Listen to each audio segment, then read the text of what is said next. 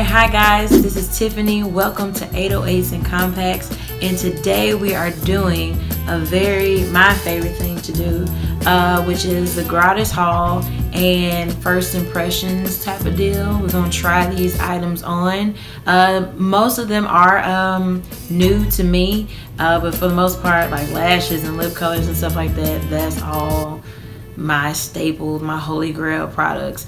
But um, we're gonna go ahead and just get right into the tutorial. And before we go into it I want to make sure that you all click that subscribe button.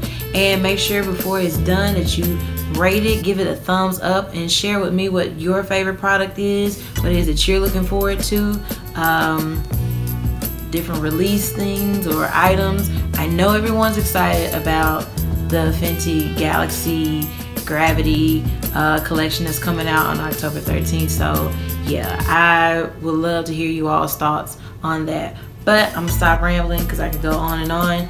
Um, so yeah, let's get into the tutorial and I'll see you guys soon. Bye guys.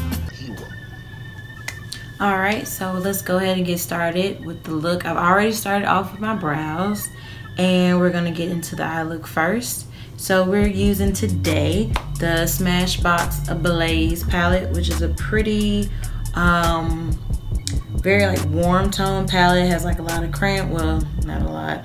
It's only eight eyeshadows in here and has cranberries and kind of warm bronzy shades and obviously a nice rich um, rusty orange and a brown and gold in the crease, I'm starting with the Rusty Orange shade with my Sigma Crease Blending Brush. I felt like I really had to build the orange in my crease because for some strange reason, oranges tend to go berry on my eyes. I don't know. And now I'm applying the deep berry shade into my crease with the Sigma E30 brush. Even though the cranberry shade has a little bit of shimmer in it, it's not so shimmery to where I can't apply it into my crease. I actually felt like it made the eyes look softer than working with completely matte eyeshadows. Okay, here I'm lining my eyelid with a black eyeliner to create a darker base for the berry shade. I'm just smudging it out with my finger, keeping the black very low.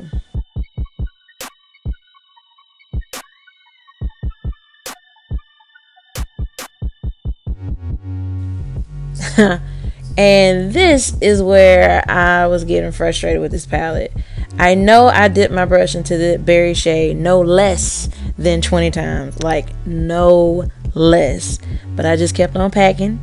Uh, but the shade never looked as deep as it does in the pan. And the shadows started to look a bit patchy on my eyelid as well. So I decided to help out the Smashbox Cranberry by adding some of the Tarte Tarteist shadows in Mod and Drama. There's my pigment. And I'm just gonna work that cranberry shade in the crease again.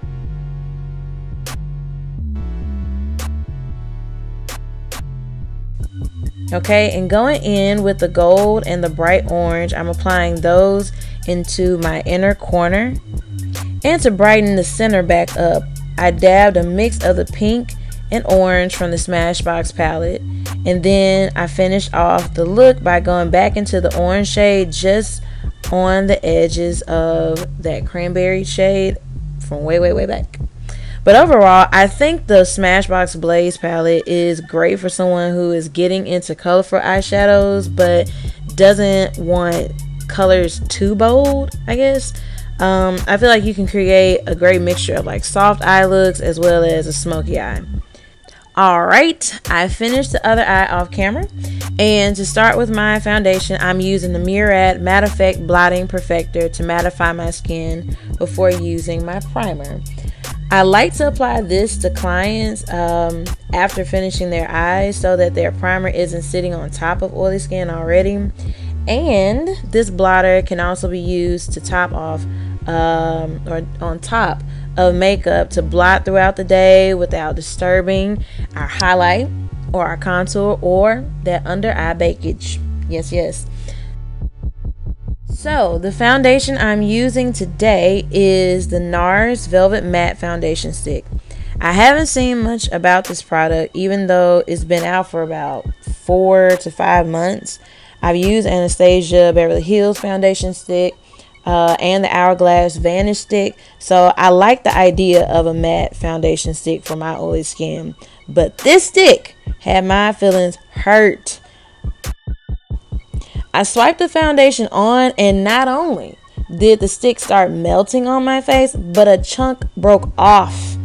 This stick is priced at 45 with only 0.31 ounces of product.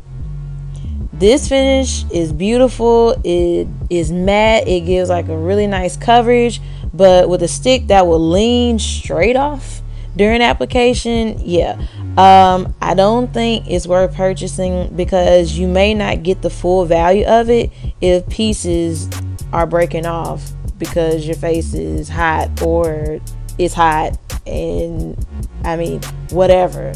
A foundation stick should not do that when you're applying it.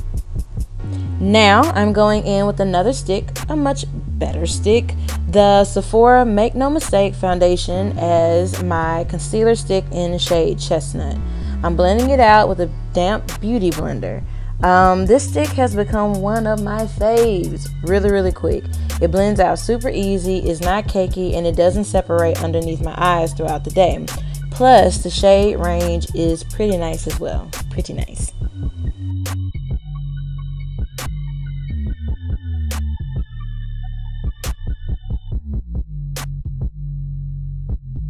And speaking of great shade ranges, I'm going in next with my Fenty Match Stix in the shade Espresso. I love the fact that this contours and warms up my complexion at the same time. It's not ashy or muddy, it's five star perfect.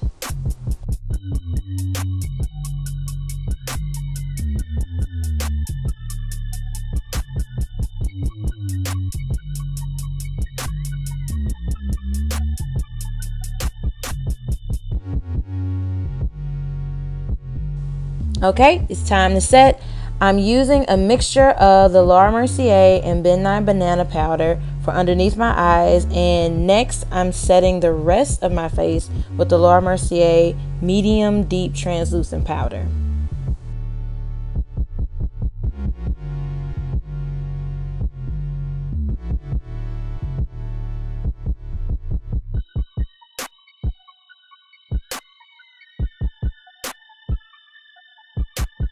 Okay, and back with another Fenty Beauty item. I'm using the KillaWatt highlighter in Mean Money and Hu$tla Baby uh, in my inner corner and to pop these cheekbones. Next, I'm mixing two of my absolute favorite blushes Sephora Sweet on You and Estée Edits Ember Glow using the Too Faced Mr. Perfect all in one brush.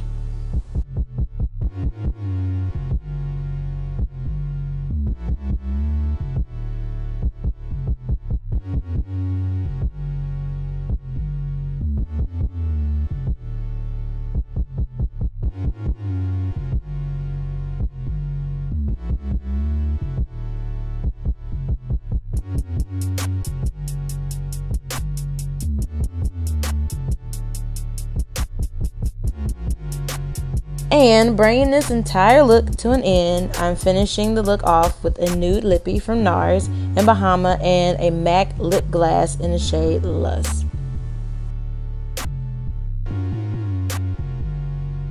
Thank you all so much for watching and I will see you next time. Bye guys.